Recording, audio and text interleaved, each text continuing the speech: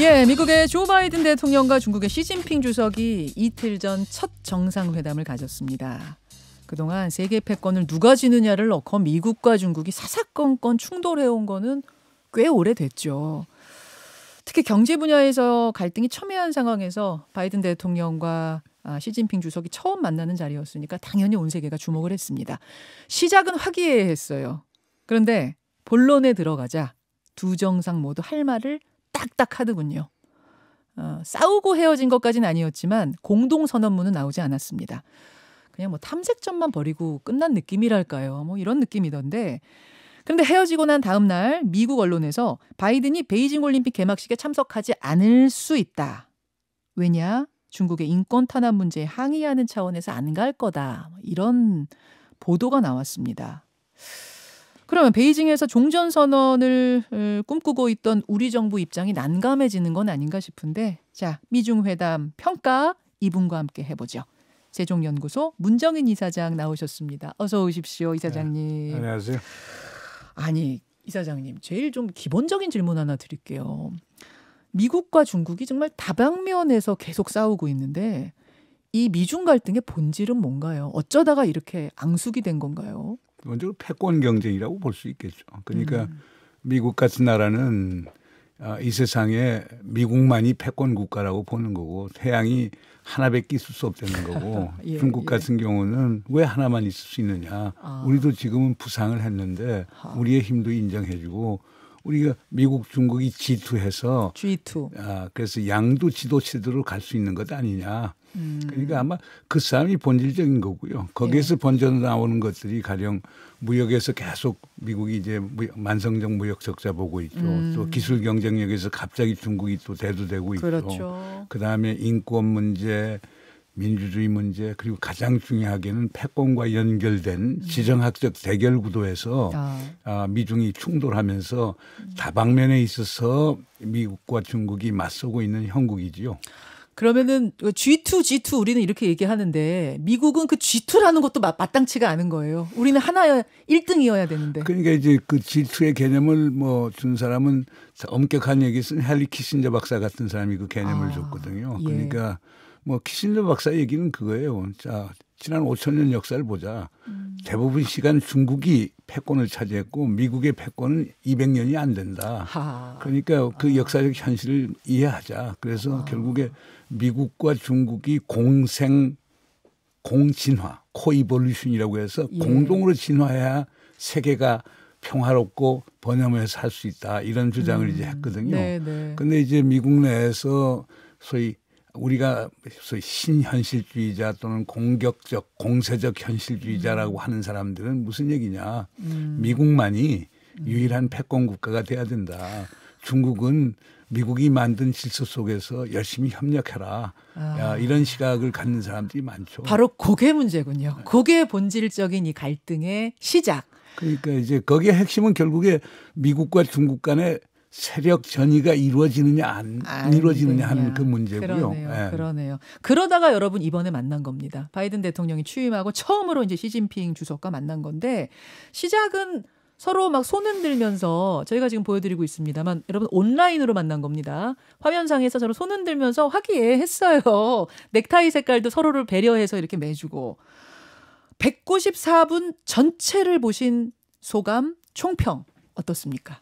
그래서 저는 의의 있다고 보고요. 우선 음. 뭐 그 시진핑 주석도 얘기했지만 라오펑 여우라고 얘기해서 내 오랜 친구라고 이제 얘기를 했고 사실 뭐 두 사이는 상당히 오래된 관계니까요. 아. 그러니까 아, 오바마 행정부 때 바이든 부통령 그다음 시진핑 아, 부주석 예. 사이에 counterpart 돼서 상당히 많은 시간을 지냈고 예. 뭐 깊은 얘기도 많이 나눴기 때문에 모르는 사이는 아니죠. 음흠. 그러나 이제 구조가 바뀌니까 그렇죠. 그리고 정치적 지형이 바뀌니까 이제 서로 이제 아, 맞서는 입장에 서는 건데 그러나 하여간 뭐 둘이 만났고 우선 둘이 두 지도자가 충돌을 피해야겠다라고 하는데 이제 공감을 이루었고 예, 예. 그런 데는 의미가 있고 그러나 실질적인 문제에서 타결을 본 건 하나도 없고 없고. 그러나 지금이 시작이죠.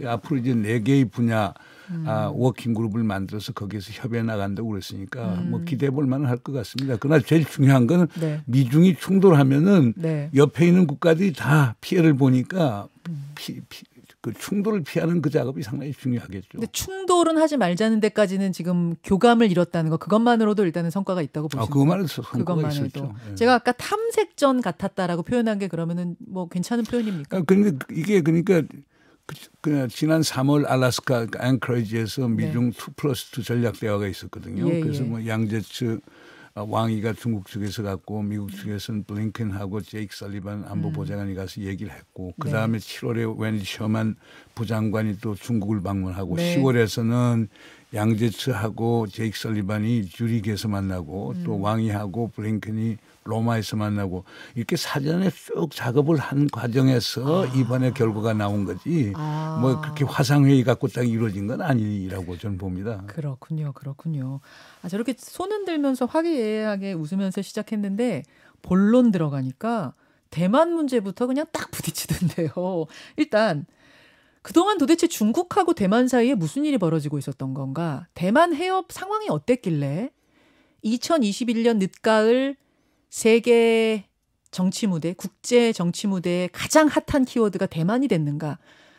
이거 궁금하신 분들이 꽤 있습니다. 도대체 음. 대만이 지금 어떤 상태인 건가요?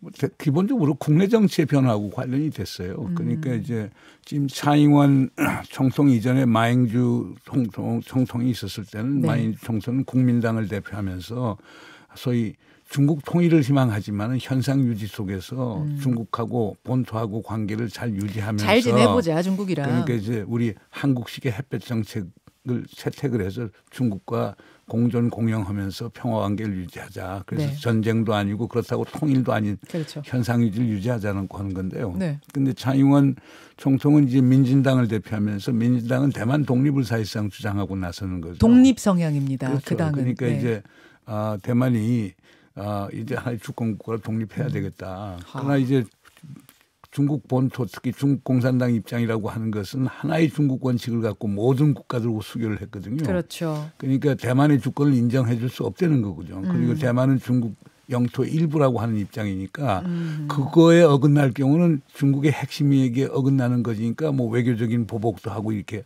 하는 거거든요. 음. 그러니까 그런 쪽에서 그러니까 대만의 정치 지형이 바뀌면서 대만 독립을 주장하고 나오는 민진당의 득세 그리고 그 차잉원 총통의 강한 외교적 정치적 행보 음. 요게 뭐 기본적인 원인이라고 볼 수가 있겠죠. 중국에게 굴복하지 않는다. 이런 표현을 대만 총통이 쓴 거예요. 뭐 이런 발언을 하면서 중국이 화가 났어요. 쉽게 말하면 화가 나가지고 심지어 대만 침공 얘기까지 나오더라고 이 사장님. 뭐 얼마든지 그 무력도 불사하겠다고 아. 그랬으니까요. 그러니까 중국의 영토와 주권을 저해하는 행위를 했었을 때는 네. 예, 뭐 예. 무력 행사도 불사할 수 있다라고 하는 걸 분명히 얘기했고 그러니까 여기서 미국은 왜 말려 들어가느냐면 예, 예. 1979년 미국이 중국하고 수교를 하면서 네. 하나의 중국 원칙을 인정했잖아요. 인정해줬어요. 인정했죠. 그러나 당시 공화당이 강하게 밀어서 네. 타이완 관계법이라는 걸 통과시켰어요. 아하. 그래서 타이완이 중국 본토로부터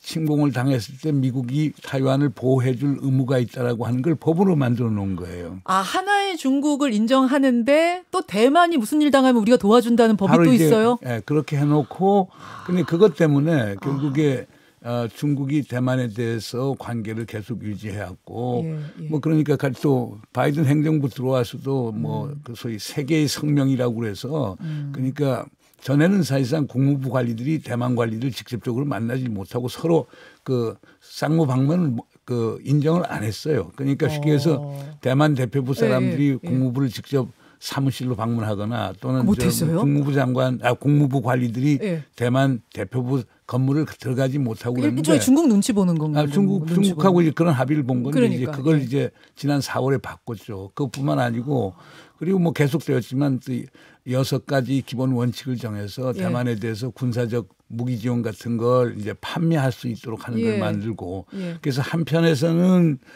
중국에 대해서는 하나의 중국 정책을 음. 우리는 지지한다라고 하죠. 지키겠다라고 하면서 다른 한쪽에서는 대만하고의 관계를 있고. 계속 유지하고 하니까 중국이 싫은 거군요. 예, 그래서 그걸 이제 보통 전략적 모호성 정책이라고 그러는데 오바마 행정부 때 이제 전략적 모호성 네. 정책을 썼죠. 그러다가 이제 트럼프 와서는 적절 전략적 확실성에서 알겠습니다. 대만이 침공당하면 미국이 얼마든지 지켜주겠다.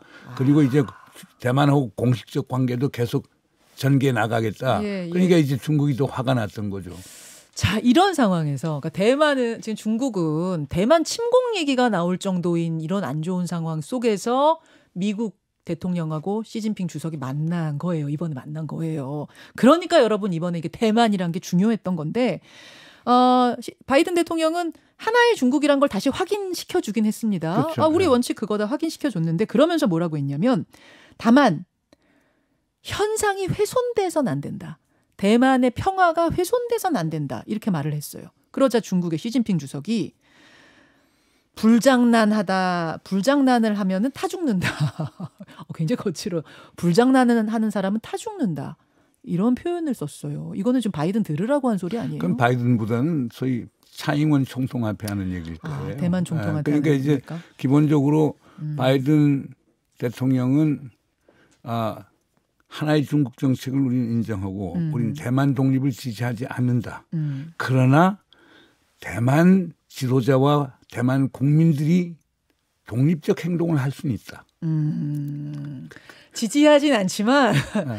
당신들이 독립적 행동을 하는 거는 그거는 지지한다. 아니 지금 그거 수 하는데 있다. 그건 우리가 어쩔 수 어, 없다. 그건 당신들 마음이지. 어, 그 대만 국민과 대만 지- 지도자의 이제 결정이기 때문에 근데 중국에서 제일 싫어하는 게 독립이란 단어잖아요. 아, 대만인들이 이런 독립적이다란 말이 이게 굉장히 자극적이 된 것 같아요. 중국한테는. 그러니까 이제 무슨 얘기냐면 그건 뭐그 내정 불간섭 원칙의 문제가 있기 때문에 예, 예. 그 차잉원 총통 포함해서 민진당에서 독립적인 그리고 자율적 행동을 했었을 때 미국이 뭐라고 할 수 있겠어요. 아, 음, 그렇죠. 그러니까 시, 시진핑 주석은 대만 지도자에게 그 자율적 혹은 독립 추구해봐라. 그러면 그만큼은 우리는 대가를 치르게 하겠다. 음, 그러니까 그거는 바이든 대통령에 대해서 하는 표현보다는 음. 차잉원 총리 아, 총통 보고 불장난하지 말라라고 하는 그런 메시지를 던진 거라고 봐야 되겠죠. 알겠습니다. 자, 이렇게 해서 이런 상황에서 회담이 끝났어요. 미중 정상회담이 조금은 이제 어정쩡하게 공동선언문 없이 끝나고 나서 바로 다음 날 미국 언론에서 뭐가 나왔냐면 바이든 대통령이 베이징 올림픽에 가지 않을 것 같다. 그러니까 선수들까지 안 보내는 건 아닌데 그러니까 외교 사절단이 안 갈 것 같다. 외교적 보이콧이죠. 진짜 그럴까요? 음, 뭐 지금 워싱턴 포스트 보도가 그렇게 나왔고요. 뭐 다 그렇게 CNN에서도 이제 그 가능성이 있다고 얘기를 하는데 좀 지켜봐야 되겠죠. 그러나 아, 제가 볼 때는 만약 중국 어, 바이든 대통령이 중국하고의 관계 개선을 희망한다라고 하면은 스포츠 이벤트를 그렇게 정치화할 필요는 저는 없다고 봅니다. 만약에 이제 미국에서 어, 북경 동계 올림픽에 대해서 외교적 보이콧을 하게 되면은 음흠. 다른 동맹들에게 상당히 부담이 될 거예요.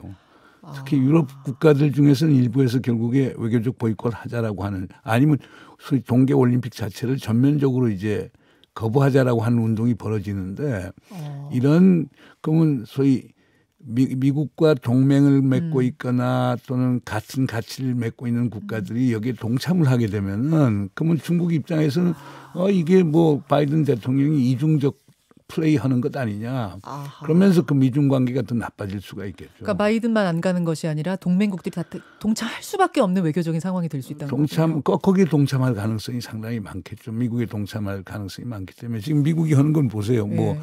무역을 위한 민주주의 동맹, 음, 기술 경쟁력을 위한 어 소위 민주주의 동맹. 그렇죠.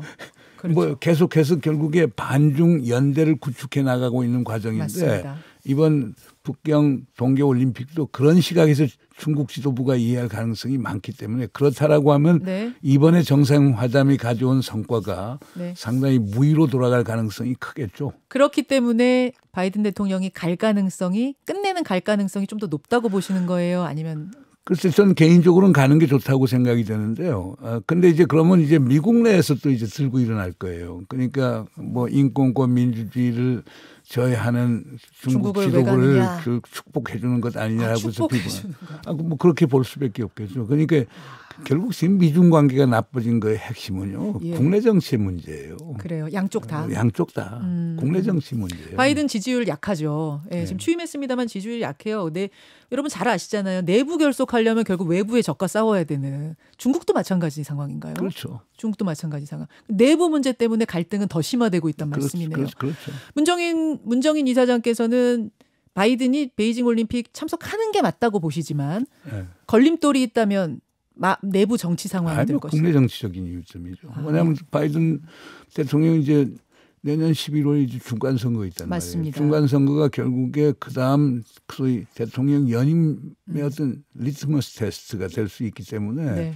모든 지금 바이든 대통령의 모든 외교적 행보 이 모든 것은 국내 정치를 겨냥한 아하. 행보가 될 거라고 보거든요.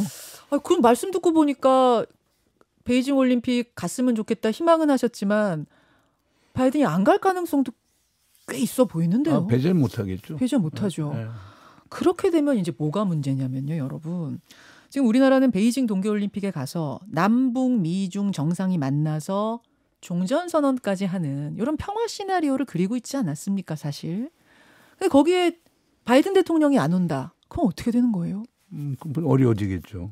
그러나 우리 정부가 생각한 건 2018년 평창 올림픽이 상당히 좋은 소위 패러다임을 이제 제공해 준 거거든요. 예.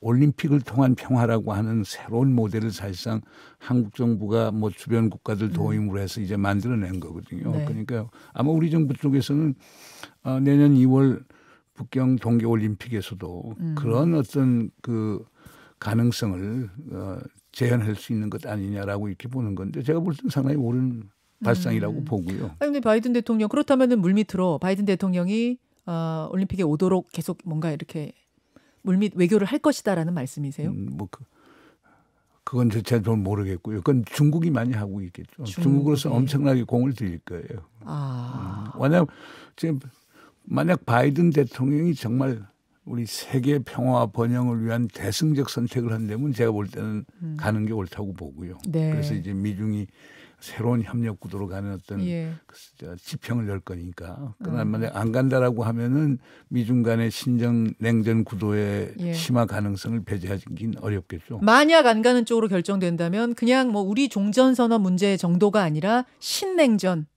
아, 니- 뭐, 그, 그, 그, 근데 이제 신냉전으로 바로 가는 건 아니겠지만 그, 그런 것을 이제 앞당기는데 큰 음. 역할을 하겠죠.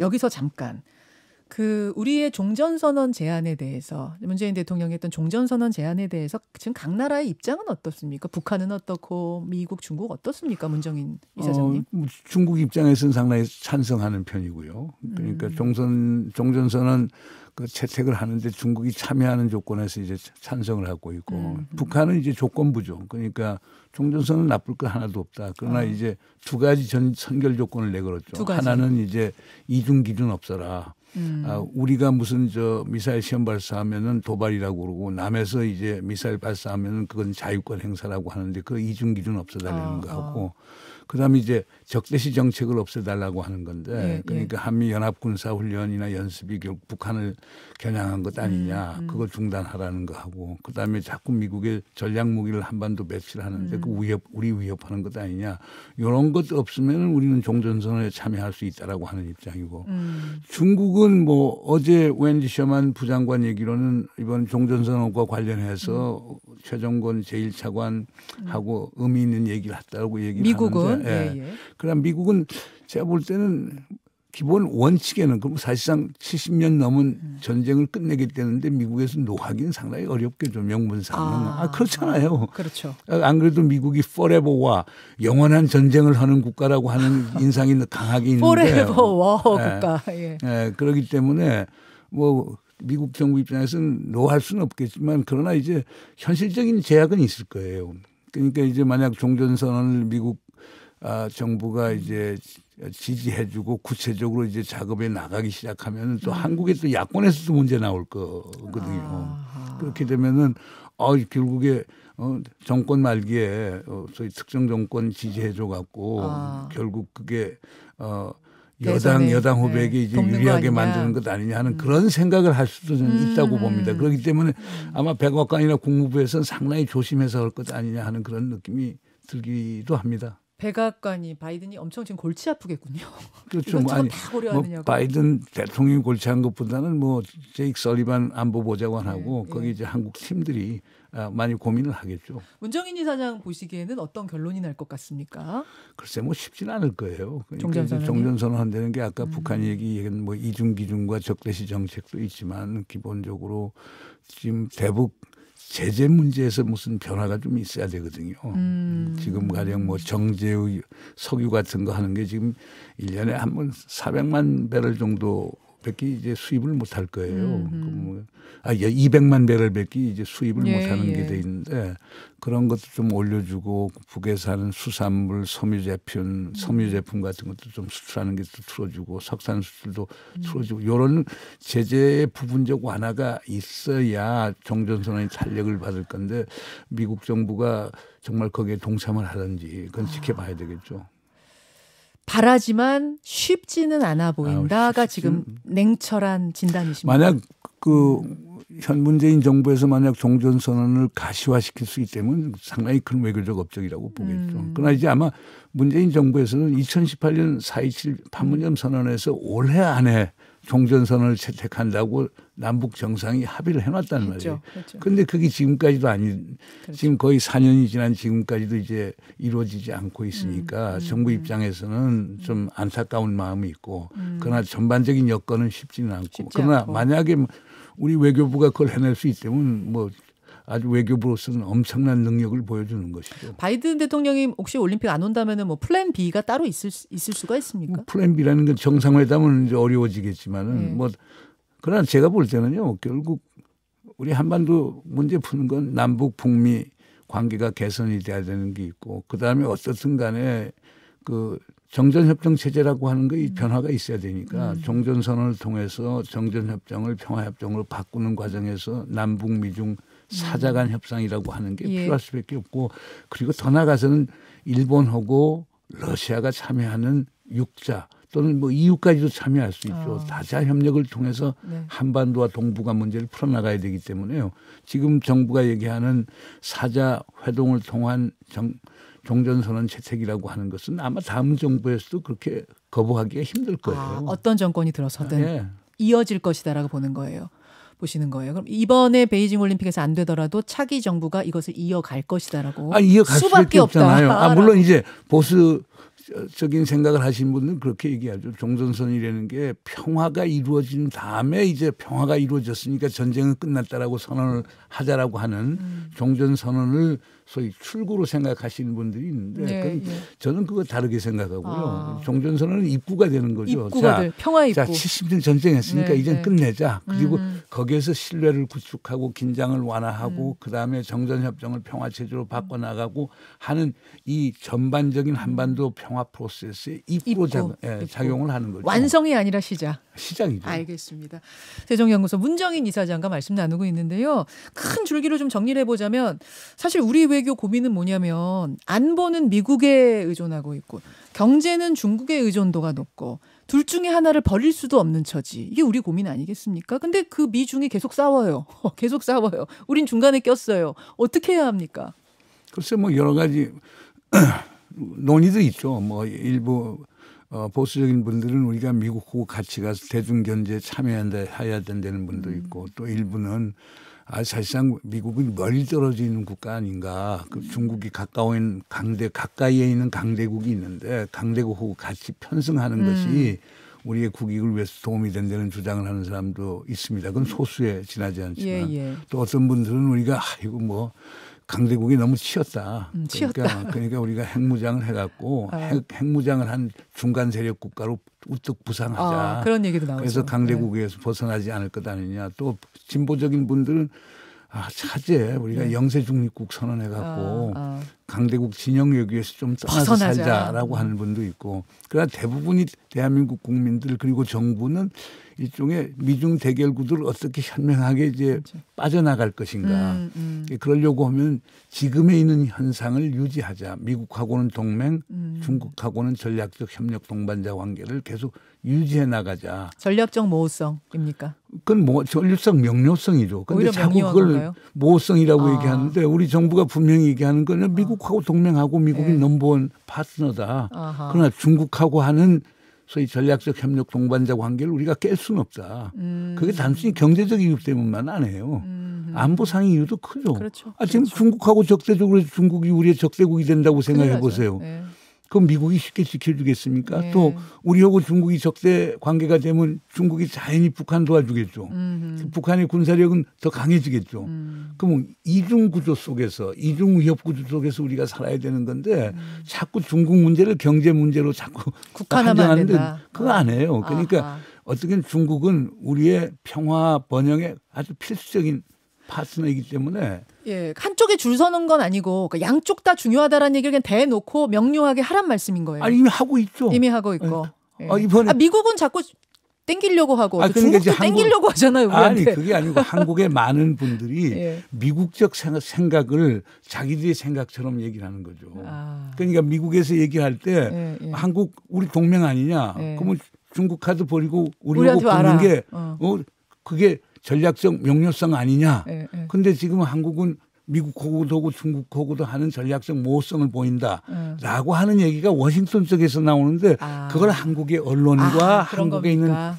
아, 일부 인사들이 그걸 부각을 시키는 거죠. 음. 아하. 현 정부 입장에서 우리가 아, 무슨 모호성이냐. 미국하고는 동맹, 중국하고는 전략적 협력 동반자 하겠다는 걸 명시적으로 얘기하는데 예. 이건 전략적 명료성이지 모호성이 아니다라고 얘기하는데 예. 한국의 일부 언론들과 일부 논객들이 아. 한국이 하는 건 미국의 시각에서 보면은 전략적 모호성이니까 그걸 바꾸라라고 하는 거죠. 명료하게 아, 양쪽과의 관계를 그렇게 같이 어떻게 보면 같이 손 잡고 가는 쪽으로 우리는 외교를 쭉 그 방향으로 가야 된다는 말씀이시네요. 아, 당연히 네. 그렇게 해야 되겠죠. 어느 쪽에도 영향 받지 그런. 걸 하려고 하면은 네. 우리가 일본하고 관계가 좋아야 돼요. 일본하고 네. 좋아야 돼요. 어, 그 좋아야 돼요. 그다음 독일하고도 관계가 좋아야 되고. 독일은 또 왜요? 왜냐하면 독일이 네. 지금 이거 다 샌드위치, 샌드위치 국가들이거든요. 아, 그러네. 그러니까 독일, 프랑스, 호주, 카나다, 일본, 한국 샌드위치끼리 아, 뭉쳐야 돼요. 미국하고 동맹을 맺고 있지만 예. 중국하고 긴밀한 관계를 맺고 있어서 예. 이 미중 대결 구도 속에서 샌, 샌드위치가 된 국가들끼리 똘똘 뭉쳐야 돼요.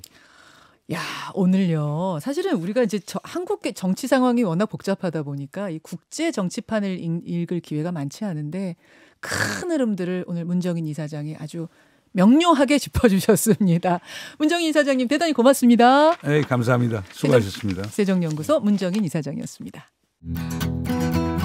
김현정의 뉴스쇼는 청취자 여러분의 참여로 이루어집니다. 트위터, 페이스북, 레인보우 게시판, 그리고 단문 50원, 장문 100원의 유료 문자 샵 1212, 우물정 1212 통해 참여하실 수 있습니다.